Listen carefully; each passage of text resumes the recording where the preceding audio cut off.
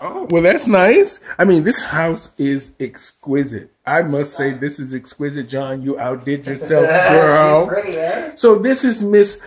Um, how do you want us to uh, say who you are, Miss Crystal Quartz. Oh, Miss Crystal Quartz. Why did you change it from Yvonne? So I decided that in order for me to become my new character, that I needed Mm-hmm. to leave the old character behind because who I am now is not who I was.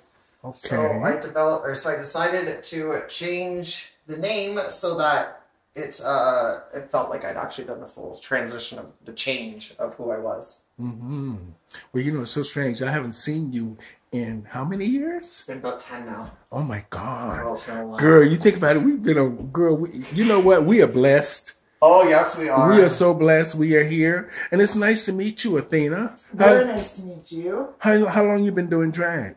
Uh, we're now going on probably six years professionally, Mm-hmm.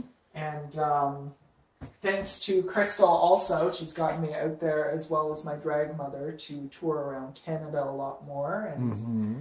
really bring drag to every corner of Ontario.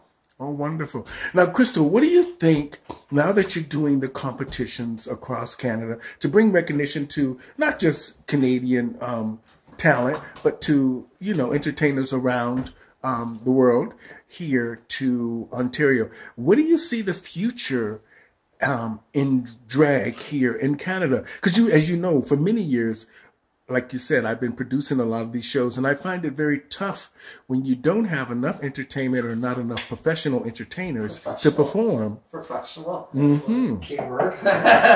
yeah, so, well, you know, drag around here, I find what people are doing here for drag is not necessarily what we grew up for drag, right? So, Mhm. to me, everyone's kind of doing this real girl, you know, Image. motif that they're not actually accenting what it is to me to be drag, that big larger than life personality. So I'm hoping with what we're doing now, we can kind of switch and show people because we don't have what they have in the states. They don't see that big elaborate drag here uh, like they do down there. And so my goal is to bring all the showgirls around Ontario and show everybody what I consider good drag. Mm-hmm.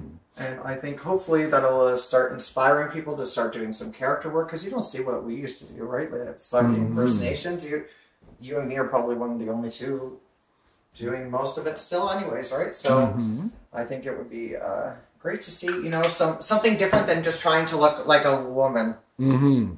'Cause, you know, Now, you, Athena, as a young person, and you know, the internet is a very um, influential and powerful source for you to connect to different audiences around the world. And you being a young performer, what do you think is going to happen now that RuPaul has bought a new um, look or, to, or just a difference to the industry? Yeah, I would say the industry is definitely well, it's become an industry. I think more um, because of Ru, and like Crystal was saying, drag in the states has been incredibly large for so many years, and here in Canada, I don't think we have the same kind of entertainment or the professionalism that you were kind of mentioning earlier as well. So, mm-hmm. you know, trying to dig and find those people around different provinces, I'm sure, is a little difficult, but yeah. yeah, but um, definitely the internet has been extremely influential in terms of almost what it is like a starter pack or an or a expectation of how you mm-hmm. should present yourself, how you should look, and how you should perform. But mm-hmm. that's all television, right? So you mm-hmm. need to find that for yourself because those people have done that already. So it's not all just high kicks and spins and you know there's characterization and there's you know proper lip sync and there is proper training and dancing and mm-hmm. if you're going to do stunts there's training for that too. You don't just have to learn that from you know alyssa edwards doing it at the finale of rupaul's drag race mm-hmm. because it looked cool. So i think you know testing yourself and all those elements if you really want to learn them that's pretty much all the work that goes into it. Mm-hmm. So.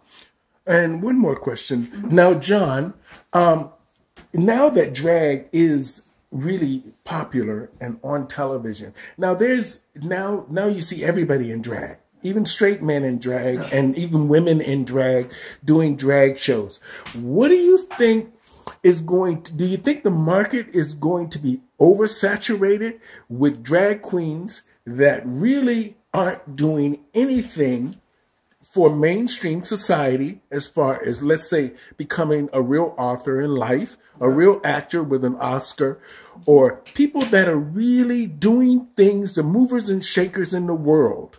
What do you think drag what do you think drag queens are gonna play in with that? So I think it's going to be much like you know, kind of any art right now, right? So there's anybody can pick up a pencil and draw something, right? And Mhm. but there's and they can call themselves an artist, right? But then when you go to look at it and you put a Picasso beside, you know, your art, you can see what the artist is. Now I think some of them kind of, you know, not necessarily give us a bad name, but if people go to a drag show and it's somebody that's amateur and they're running it, they're not quite getting what drag is, and so that kind of scares me. But other than that, you know. Oh, I lost my train of thought there. It's separating yourself from always being a gimmick. There you go. Right. So Now, you know, um, the reason I brought that up is because I'm I'm thinking RuPaul has created this huge industry for a lot of drag performers. Not the majority of people have never seen drag shows. Now, how do you change people's perception to come out and think drag is worthy to see? Because even when you see it on RuPaul's Drag Race and drag shows, Still you- as impressive as in Yeah. so it's it's it's it's missing that Hollywood element. That yeah, that that that spark that you get when you're on stage, and that is so hard to put on film or in picture. And I feel like the only way of getting those people out is like I don't know if you've noticed by my posters, they look really exciting, and I try to create that like neon sign and sparkles and kind of give that people the feeling of what they're going to experience when Mhm. they come there because it's a larger than life atmosphere and where you feel you know beautiful and welcomed and everything right so Mhm. uh, Now the reason I the reason I'm asking you, um, just one more question. yeah please. yeah as many as Um. But the reason I'm asking this is because now that you know you can only sell so much makeup. Young people, drag performers, they have a limited budget, even when they're making real money. Let's just say you're making money now with drag. How can you afford to buy a house? How can you pay for insurance, health care, food? A lot of um, the LGBT community has decided they want to have children now. And these are things I'm thinking are going to be very difficult. And for you to find a niche that you do Yeah. that is going to fill a stadium because eventually the day will come to where RuPaul show will be canceled. Oh yeah, absolutely. Somebody's got to take over it. at So what do the what do these 5000 drag queens that you have had on this popular reality show do after the show is done? well, there's gonna have to create another version of the show, right? Because this is hard to make a living in. Makeup Well, is expensive. If, if makeup is expensive, the outfits like I have thousands and thousands of dollars just in rhinestones. Rhinestones, not just outfits, but rhinestones. There's thousands in makeup right there, right? There's Mhm. I probably have ten thousand dollars in wigs. Um, yeah, right. Like there's it's it's an investment, right? And so if people aren't, you know, drag in general is an investment. So if you're taking this on as a career, I highly suggest that all of your tips that you're getting, you put it right back into your art, and that's how I've gotten to where I am today. It's because I don't spend my tips on anything else other than literally going back into makeup, hair, whatever it happens to be for that day. But you know, at some point, for the both of you, at some point, um, Athena and um, Crystal, at some point, you have to start really thinking about is this really worth it? Is is this really worth all of this? Is RuPaul Drag Race even really, really relevant to make your lives in the long run different Yeah. and better? Can you can you make a living? Can you buy yourself a house? Can you buy yourself a car? Can you afford in the next five years to just be able to live Comfortably, and go out into society and be accepted and knowing that you can call any club, you can call places and they will say, okay, we will book you. yeah. Or should drag queens have a new perception because most of the time RuPaul is putting these shows in theaters.